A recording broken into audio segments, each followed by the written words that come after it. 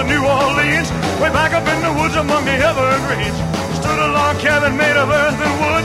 I lived a country boy named Johnny B. Goode, who never ever learned to read and write so well, but he could play the guitar just like a ringing of bell. Go, go, go, Johnny, go, go, go, Johnny, go, go, go, Johnny, go, go, go, Johnny, go, go, Johnny, be good.